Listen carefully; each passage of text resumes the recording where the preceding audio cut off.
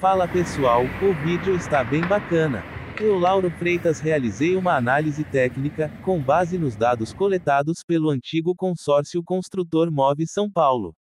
A tuneladora norte partiu da estação Freguesia do O, numa profundidade de 38 metros, e está escavando descendo para atingir a profundidade de 44 metros na estação João Paulo I. Este trecho escavado é predominante em rocha. Porém, existe um trecho onde o solo é formado por uma camada de solo compressível e de solo mole. O que é um solo compressível? É um solo de baixa resistência, geralmente formado por argila orgânica. O que é um solo mole? Geralmente formados por material orgânico com elevado teor de umidade e que apresentam baixa resistência aos esforços de cisalhamento. Neste trecho existe também um trecho de solo saturado, onde os seus espaços vazios são preenchidos por água. Como se explica a compressão de um solo saturado?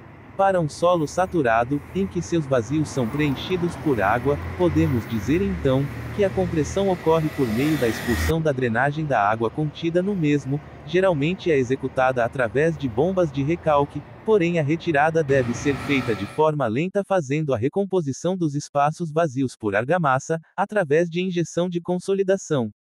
Quando esse solo é composto principalmente por finos, como é o caso de solos argilosos, essa drenagem é lenta e ocorre ao longo do tempo.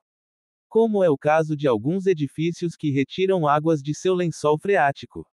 Deste modo é imprescindível realizar estudos geotécnico, quando existe a necessidade de interferência no solo. Para evitar afundamentos e desmoronamentos, do local que está sofrendo intervenção. Por este motivo, o consórcio que está construindo o ramal contratou uma empresa especializada em geotecnia para minimizar os problemas causados por solos destas características. Realizar intervenções no solo, sem ter o profundo conhecimento do local, podem resultar em problemas sérios, como o aprofundamento do solo ou até mesmo desmoronamento de grandes proporções. Foram realizados mais de 20 perfurações de poços para consolidação do solo, neste pequeno trecho.